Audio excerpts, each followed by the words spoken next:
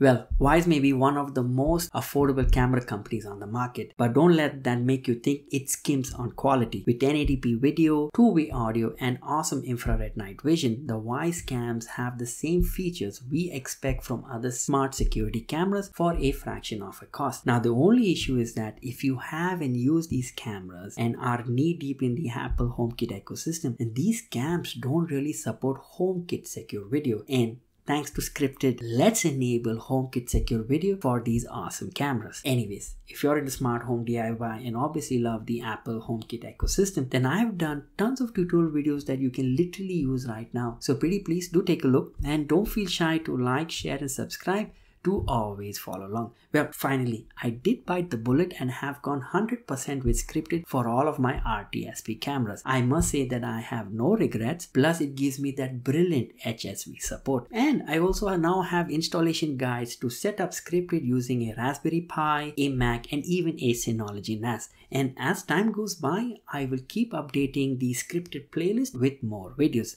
Now, way back in 2020, I did do a video on how to enable the Protocol using your Wyze cams. And if you haven't done that yet, then pretty please pause this video and refer to that video which I have left a link in the description on how to enable RTSP for your Wyze cams. You can only enable this service for the Wyze Cam V2, V3 plus the Wyze Cam Plus as the enable and support the RTSP protocol. So what will you need? You'll definitely need to have Scrypted already installed on a network.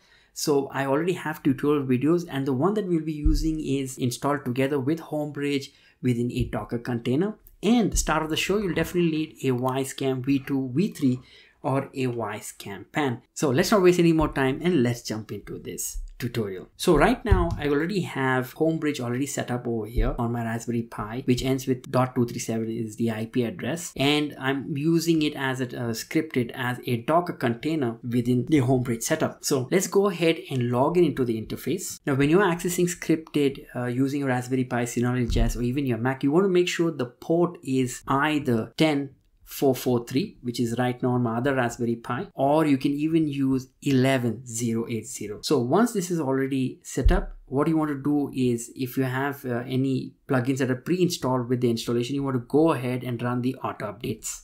So once the plugins are installed what you want to do is go and install first is the rtsp plugin and then you want to go ahead and install the homekit plugin Let's check on plugins and you have all that is required. So you have HomeKit, the motion detection and the RTSP camera plugin. So let's go ahead and click on RTSP camera plugin and all you have to do is go and click on add device or name it as demo camera. And then right now we're going to go and add in the username password as well as the RTSP link. Now just in case you want to assign it a room within the configuration you can do that right now but it's not really necessary because we'll control it within the Apple Home app. So the username, so let's go and access that information. So in my case, the username is home. So this is all of the information that you set up within the RTSP configuration within the Wyze app. So this is my username, password. So you just want to make sure, click on the green button and then the RTSP link and you want to click on save RTSP stream URL. Now once that is done, what you want to do is go ahead and click on integration and extensions and you just want to click on the PAM diff motion detection because this enables the hardware that's with the camera, the sensor hardware and you want to go ahead and enable the HomeKit. Within advanced, you want to leave it as it is. TCP protocol, stream management, no changes. If you want to tweak anything over here, if you want to lower down the resolution but keep it as it is.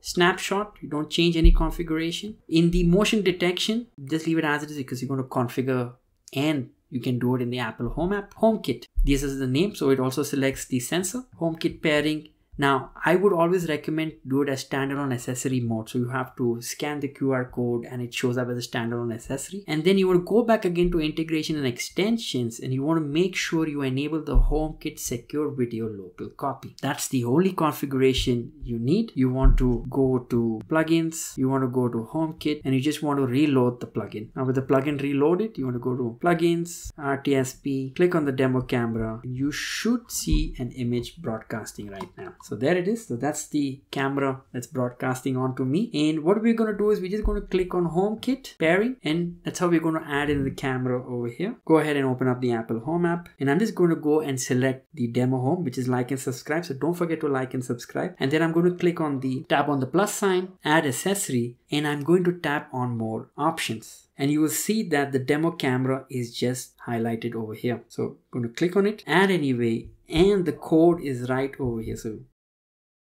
add in the bedroom, continue. And here is where you can select the options to enable the camera stream recording or whatever actions you want to do it. While your home is right now stream, you can configure it to be stream and allow recording and then you can go through all of that configuration, which you will see. Tap on continue, done, and that's the camera right there so if i click on the camera i'm able to look at it and also uh, get on the settings and also configure all of the recording options that is there. Now, what I have done is in my regular setup, let's go and select the home. You can see that it's already created a timeline at the bottom portion. So I can go through the timeline and scrub through the events that I have asked uh, HomeKit Security to do. So that was the configuration with when it enables uh, when people are detected and all the other options I've uh, disabled. So only when people are detected. So anytime there's a person that enters the room, in my kid's room, I'm able to detect. Those are all of the recordings that has been going to my iCloud. And then also at the same time, you are able to get notifications on your Apple TV. And it's that simple